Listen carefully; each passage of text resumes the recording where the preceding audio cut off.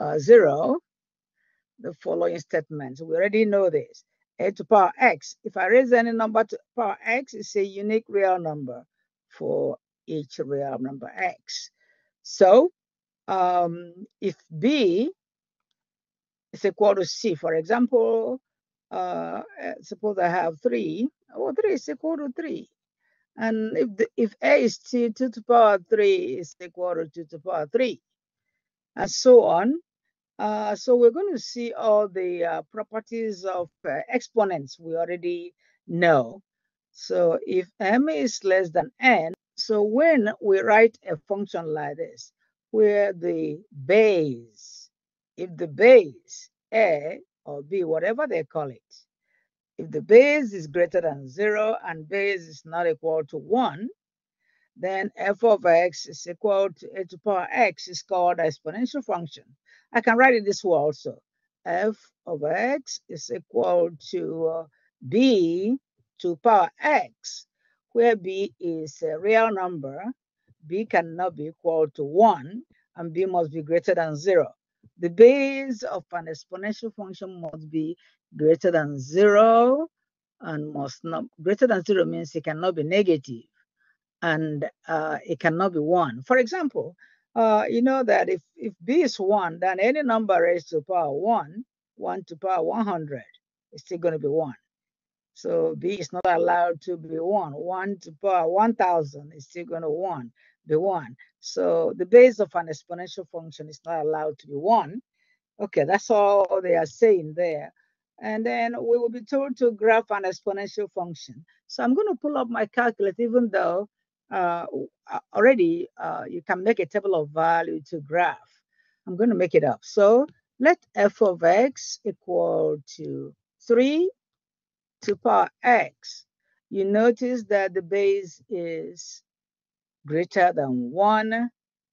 and the base cannot be less than 0. The base of an exponential function cannot be less than 0. It cannot be negative, and it can it cannot be uh, equal to 1. Okay, so if actually, if the base, let's call B, if B is greater than 1, then it's an exponential uh, growth. Let's call it exponential growth. So we start now, exponential growth.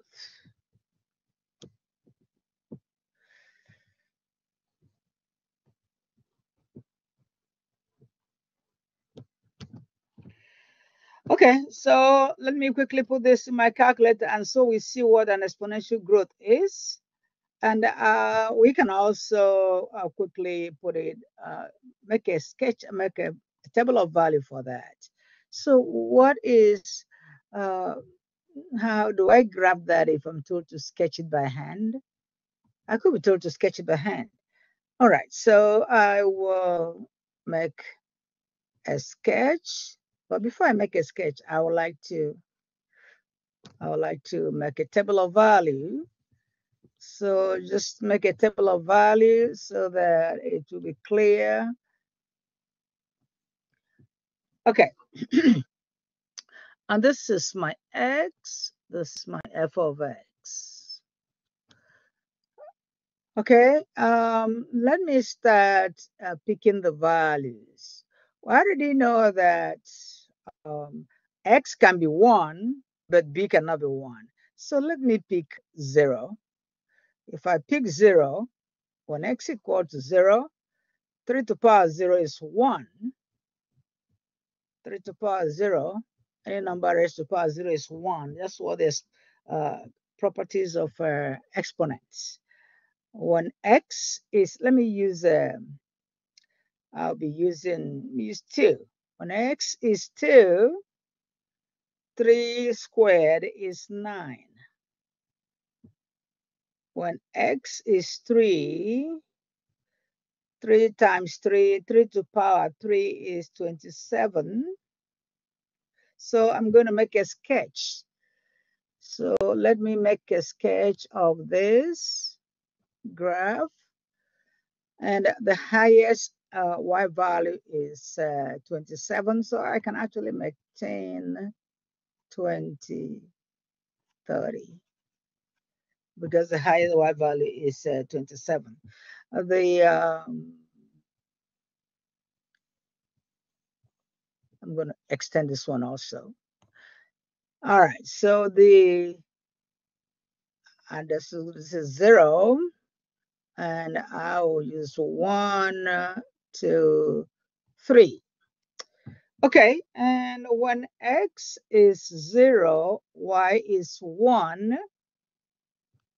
So that means every uh, exponential function cannot, so one is somewhere here. One is somewhere here. Where is my, uh, okay, just uh, put it back. One is somewhere here. When x is zero, y is one. When x is two, y is nine, somewhere here. This is 20. It's nine. When x is three, y is 27. All right, and then if I pick another number, when x is uh, negative one, x can be negative, but the base cannot. If x is negative one, then y is one one third.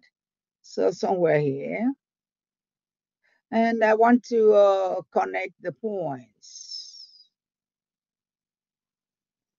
So you notice that the graph is rising exponentially.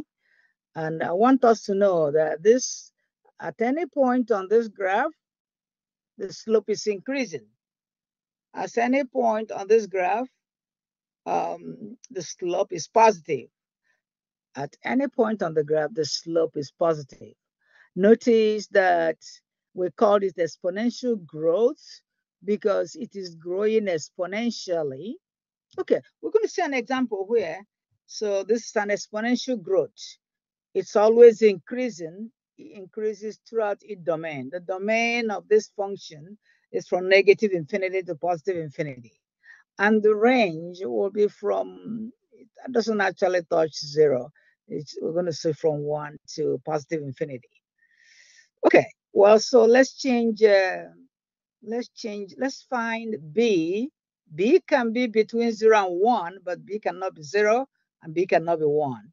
So suppose the base is between 0 and 1. So let's graph, let's get another, maybe we can do it on the same graph. So I am actually going to um, find the inverse or find a b. Suppose b, suppose b is equal to 1 over 3. In other words, I can rewrite this as, let me write it, f of x is equal to 1 over 3 all to power x. Well, note, note that this can also be written as f of x equal to 3 to power negative x. Yes. Okay, so they are the same. Um, f of x equal to 1 over 3x to power x or this. And this means that b is between 0 and 1. And whenever b is between 0 and 1, it is an exponential decay. Okay, so we can make a sketch quickly. We can make a sketch of an exponential decay with our calculator or we can do a calculator. So let's make an, a, a sketch of an exponential decay. So the function is f of x is equal to 1 over 3 all to power x. All right, so let me make a, a sketch. And we want to see how this graph is going to, uh, this is x, this is my f of x. Okay, so when x, let me, I know that this graph will be leaning to the left. So let me start from zero, or I can start from um, one. When x is one, I substitute one here, 1 over 3 to power 1 is 1 over 3. When x is 0, um, 1 over 3 to power 1 is 1 over 3. When x is 0, 1 third to power 0 is 1 because anything raised to power 0 is 1. All right, so let's uh, make um, uh, when x is uh, 3, do I want to use 3? Let me use 2. 0, 1. Okay, let me make it 1. Negative 1 this time. Negative 1. All right, so let's let's look at that. When x is negative 1, then I have, I want us to know that this function is the same as 3 to power negative x. So if x is negative 1, then I have 3 to power negative negative 1. In other words, uh, x is, uh, at the end, I have x is going to be uh, one third. Okay, so one third. Let me see if I um, did some some stuff here. Okay, so I will have uh, 1 over 3. Then I have 1 over 3 actually, then I have three, uh, no one over three, sorry. Okay, I'm going to, uh, uh, negative, negative one is going to be three. So let's make a, draw the graph on the left-hand side. So I'm going to make a sketch of this graph on the left-hand side. And uh, I have the values of x as 1, 0, negative 1. And the points I have is 1, 1 third. So let me just make this one uh, 1, 2, 3. When x is uh, 1, I have uh, 1 third. 1 third is somewhere here. When x is 0, I have 1 x is 1, I have 1. x is 0, I have 1.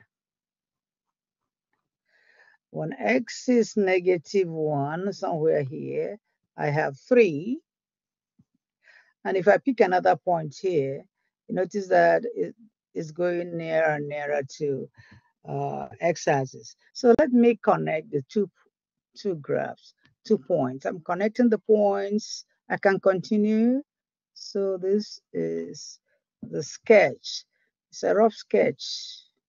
Okay, and then this is the graph of f of x equal to one third x or uh, 3 to power negative x. Well, let's see.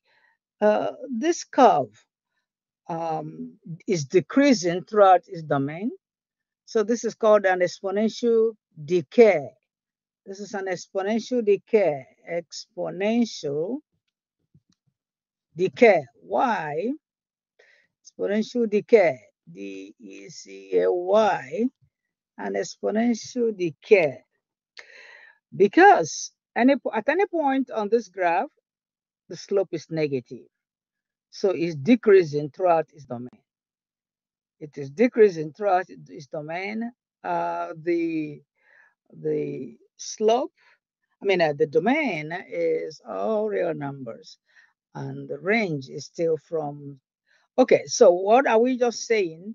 Uh, we meet an exponential decay whenever, whenever the, the base of an exponential function is between zero and one, if the base is between zero and one, if the base is between zero and one, base so we have um, exponential decay. Exponential decay when the base is between 0 and 1. Okay, so I can just say it's less than b. And the, when 0 is less than b and b is less than 1, the function is an exponential decay. We can put it in a calculator quickly and we see